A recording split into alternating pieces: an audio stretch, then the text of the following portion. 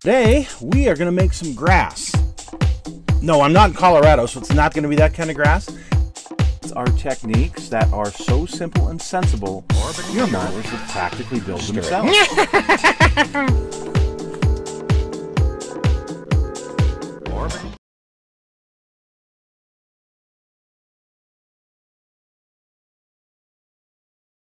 Hello, folks. It's Mad Dog Merv. Welcome to today's show. Today we are doing a kind of a Halloween theme. Uh, we are building the Warlock. This one. this one uh, that came out not too long ago. Uh, we'll do a little building, not much. I'm going to show you the weird stuff that I did to mine and a couple of really neat surprises. Um, now, I did not want to follow along the lines of the original Warlock. I could have, but I wanted to do something a little bit different. I wanted to make a mystic Warlock, and you'll see what I mean by that here in a few minutes. And I wanted to show you a couple of new items that uh, have been produced that will work great on this kit for those of you who have them. So stick with Mad Dog Merv as we look at my 125th scale MPC Warlock. All right, folks, here we go. I'm going to show you the good, the bad, and the ugly. And there is some ugly on this, not because of the kit, but because of the way I built it. Um, there was a couple of mistakes I made, and we'll talk about that because, well, that's what we do on this channel. So let's get started. So I went ahead and I primed everything on this with the 2X primer. Just simple, just coat everything.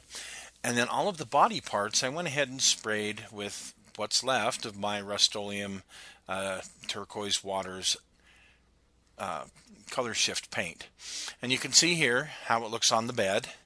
Uh, don't pay attention to the wood just yet, but you can see this is the only picture I really have of it at that point. Now for the wood, I'm going to use this ochre khaki as my base.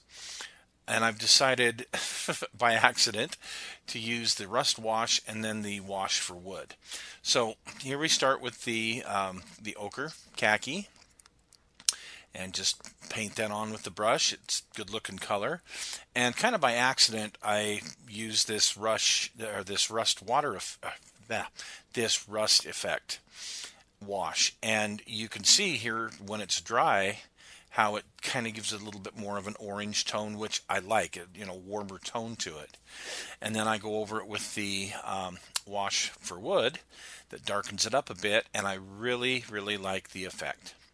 Now for the slats, since they are painted, they aren't chrome on, on the original, I went ahead and I used this new thing. It's uh, Real Colors uh, paint marker uh, this is a tire black and I'm okay with it. I used it for most of the trim on this build. And you can see here with the uh, all the wood in place, thinking it's looking pretty pretty decent. And here's another angle. I'm going to have to paint the bolts, but we'll get around to that. Now, I wanted to do mine like a true Utah vehicle, meaning jacked up halfway to the moon these huge gigantic tires on it. That's just how we do trucks here in Utah. So I used the tires and rims out of the old deserter kit uh, because they are big. they are really big. Um, you can see built, painted. Uh, I'll come back and I'll pick out the exhaust and a few other things. But to raise the suspension, this is the thickness of the styrene that I used, and I'd cut it into three small segments and stack it up. So I figured that would be a big enough block, and you can see here how far it raised it. I figured it'd be a big enough block that it would give me the proper clearance. Guess what? It really didn't. So someday I'm going to have to go back. Look at how high that lifted it in the front, though. Um, I am going to have to go back and, and make a change at some point in time because as you'll see in a minute, it just isn't uh, adequate. Okay, I picked up these beauties from MRS Hobby. There's a local guy who 3D prints these um, and sells them to MRS Hobbies, and so they are sold through MRS Hobby Shop. Um, look them up online if you'd like some of these, but they are very thin. They're very uh, delicate. Also, there's the grill. Look at this grill and the back support. Wow. 3D printed, that looks pretty amazing, but there is a little issue with it, and I'll get to that in just a moment. But look how look how sharp that is. Went ahead and painted this up with my Alclad Chrome, which doesn't look too bad on it. Uh, wow, just that grill is so awesome. Here's where I ran into the issue. There are no headlights or marker lights that come with the kit. So what he recommends is that you use some UV resin to make your headlight and make your um, your your marker lights, your turn signal. Um, so I didn't have any of that, but I do have some clear resin. So I went ahead and mixed some up. Now I painted the inside of the light lenses in um, in Alclad, and then I went ahead and I painted the markers. Unfortunately, I should have done uh, something different with the marker lights because uh, I don't like how I did this amber color and I don't like how it turned out. And here's the biggest problem: if you run into any issue with it at all, you're done. Uh, it's not like you can dig this stuff out of there. Um, I, I just don't like the way this is engineered. So sorry, but if you've got better talent than I do with uh, like UV resin, great. But you can see how it looks. I mean, it's it's better than the kit, that's for sure. Uh, but I didn't. Uh, well, I need practice before I do more of that type of stuff. Here's the engine. It's just going to be curbside, so I just got it built to this point and threw it in so it would have an engine from underneath. As far as the interior goes, I didn't use the cool decal for the uh, instrumentation. I probably should have, but I went ahead and tried to do it all by hand. I like how it turned out okay, and I didn't waste my time with flocking because you're really not going to see it down in there. So here's the door handle. Cut off the old one and carefully glued the super glued the new one in. Uh, looks very nice. Very, very much better than what the kit had in it originally. Uh, the decals, of course, gave me a little bit of problem here and there. Uh, just some little fit issues. You can see here where it's kind of wrinkly in the front. I could not get those to sit down at all. But here, look at the grill. Isn't that really nice looking grill?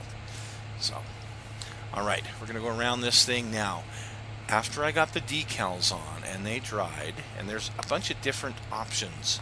Like here, I've got the Power Wagon 150 decal uh, that I decided to use.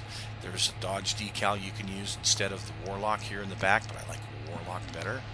But after all the decals were dry, I went ahead and gave the entire thing a coat of Future um, to not only seal in the decals, but to give it just a better shine. I really do like how it turned out with that. Although you'll notice that the mirrors I'm going to have to take off and put them on the right way because I didn't do that. Whoops. Also, it says backup lights need to go in the uh, the back by the tailgate here, and I couldn't find for the life of me where they would fit back there because there just was no room. So I went without them. Decided to do a little white backup light inside of the tail lamp. Not accurate, but hey. I'd had enough of this kit, I'll just tell you. Um, but here's the hood with that decal. Uh, it's not too bad, but you're definitely with with the way the hood sits. There's definitely going to be some issues trying to get that decal to sit down in there right.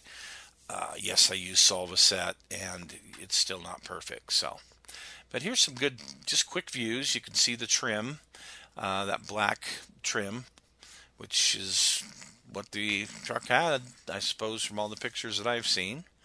The little chrome step side there. And you can't see the, the carpet very well, so that's why I didn't bother to flock it. Uh, it does sit high, but again, it rubs in the back. Darn it. So yeah, I'm going to have to lift it up a little bit more. Well, folks, thanks for joining us, and hope you got something out of this. We will see you again soon.